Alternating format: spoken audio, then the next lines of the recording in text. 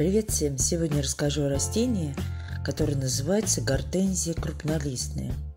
Увидеть цветущую гортензию крупнолистную и не влюбиться в нее невозможно.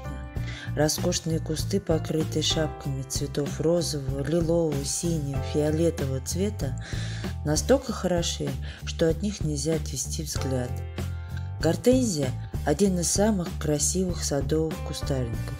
По легенде, история названия этого декоративного растения романтична.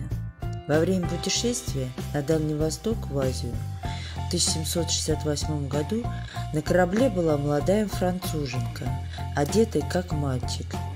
Ее звали Гортензией. Позже она стала женой одного из участников экспедиции. В честь этой молодой смелой леди – было решено назвать одно из недавно открытых растений во время поездки в Японию. А еще с латинского и греческого переводится как «вода и сосуд». Эта комбинация слов означает «емкость для воды».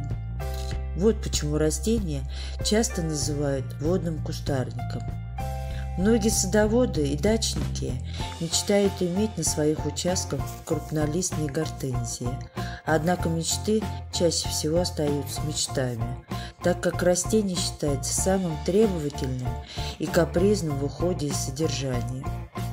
Гортензию сделали узнаваемым по всему миру цветы.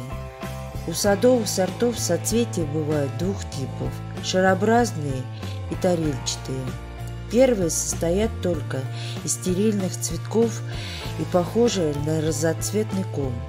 Вторые напоминают зонтик с кружевной серединкой из фертильных цветков и ажурными краями из крупных стерильных лепестков.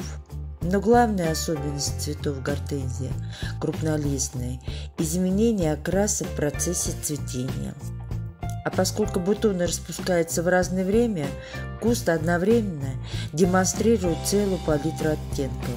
От белого и розового до ярко-синего, до фиолетового.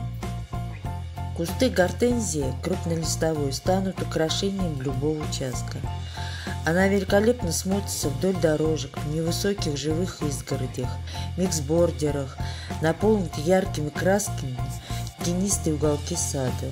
Так что если у вас есть время и желание ухаживать за этим растением, то вы не пожалеете. Эта красота стоит того.